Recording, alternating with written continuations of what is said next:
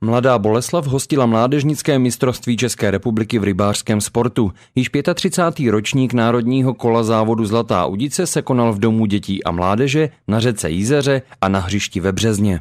Tady ta soutěž se skládá vlastně ze tří jednotlivých disciplín. Eh, první jsou znalosti, eh, tam soutěží děti eh, v poznávání ryb, rostlin a živočichů a v testech, ty testy se zase skládají vlastně z vodních živočichů, vodních zákonů, zákonů o přírodě a rybářského řádu.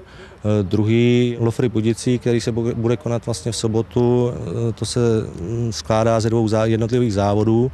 Bude se konat na řece Jizeře a třetí tou disciplínou je rybolovná technika. Základnou družstev mladých rybářů byl internát střední zemědělské školy, odkud vyráželi k jednotlivým disciplínám. Soutěž sledoval také předseda Českého rybářského svazu.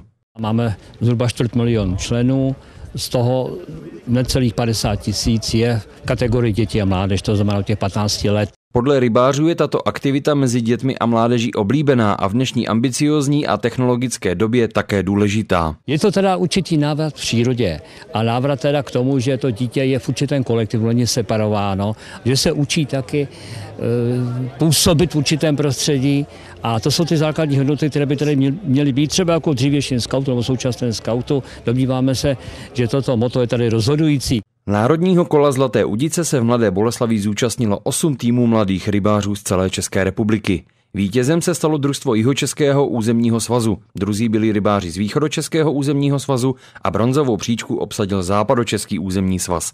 Středočeši skončili čtvrtí.